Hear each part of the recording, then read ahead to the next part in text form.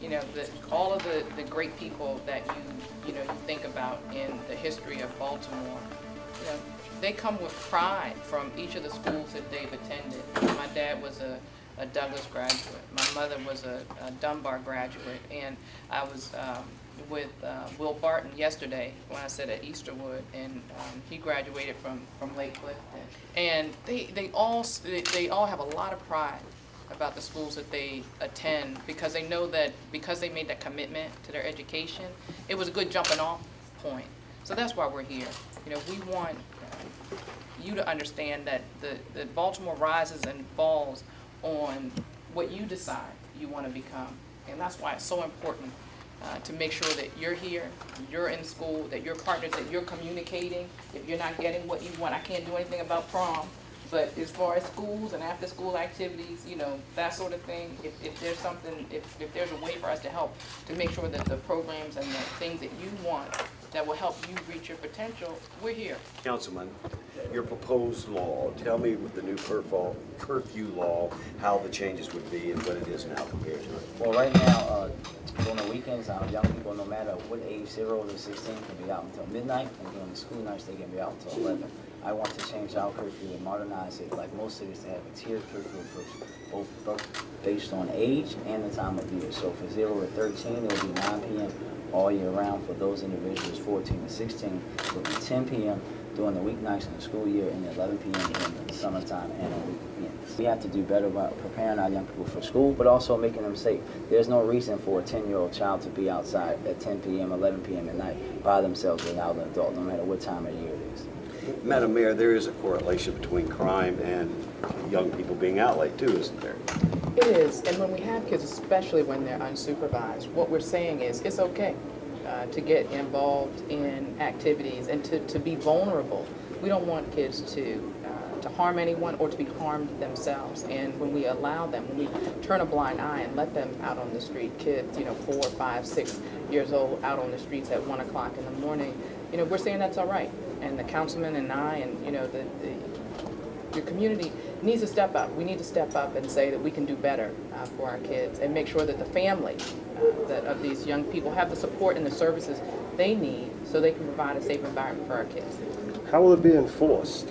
And what will the penalties be? So it'll be enforced just like we enforce the curfew today. The police department will be the lead agency on that. Uh, but, but the key to this legislation is, is actually that we want to divert a lot of these cases away from the court and divert them into family strengthening and training programs so that we're not just finding people and sending places to court that we know our court is already burdened down with major crimes and burden them down with minor crimes so that we can, again, as the mayor said, help these families understand that they can do better for their young people and do better for their families. But I've been in discussions with the mayor's administration and the police department of trying to expand our enforcement of the curfew, mm-hmm. but also try to run our nighttime curfew center all year long. What will, what will the, the, the penalties be? The penalty, the penalty will be just as today, they can receive a civil citation. I've actually upped the amount to five hundred dollars, but that can be null and void if that family completes a family strengthening training course. Okay. Your Honor, were you surprised by the responses that the the students gave? I was impressed uh, with the responses. You know, these young people know what they want. Uh, they know what they want to see as far as enhanced uh, after-school programming, and they're committed to their future. You know, I made it very clear that you know Baltimore rises and falls on each and every one of our, our, our classes, our graduating classes, and we don't have, you know, like I said, we, we don't have a spare ninth grade class. We need to make sure that every single one of them reaches their uh, potential, and it, it they get it. And I, I like their energy and their willingness to, to uh, be in dialogue and to be clear about what they, they need to be successful. And we used to have truant officers, correct? Do we not have those anymore? Well, uh, we have the school police that works on that uh, during the school day, but our, uh, our truancy efforts and our, I'm sorry, our curfew efforts are around after hours Okay. curfew. Um, I, I just happened, it's funny because I just happened to see some kids last week by Carver High School.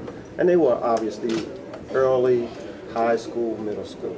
And a, city police, I mean, a school policeman drove by. No, made no effort for the kids to run or move or anything like that. I mean, it's like they don't fear now.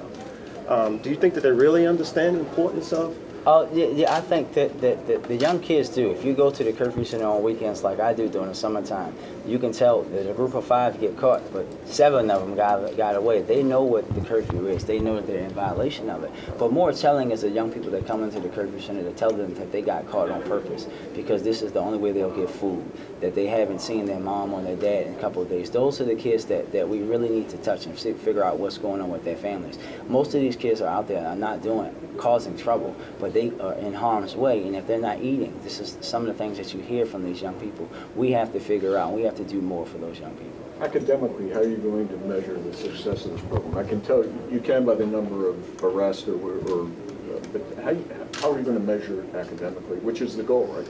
Well, it's one of the one of the goals. I guess you can only it, it, it, it wouldn't be a direct correlation, but it's just a correlation just for the simple fact that if we have less kids that are out at 11:30 at night on weekends, then chances are we're going to have more of them in school during the daytime that are going to be willing to learn. Because if they're if they're out there late, even if they're up and at school that early, they're not going to be as energetic as they need. They're not going to be as attentive as they need to be in their in their especially in their early morning classes. With respect to the, Uh, we're gonna have the, we'll probably announce the hearing at this Monday's council meeting, so that, the, that it will be voting on at that public safety hearing, so we'll, probably for the next few weeks to a month.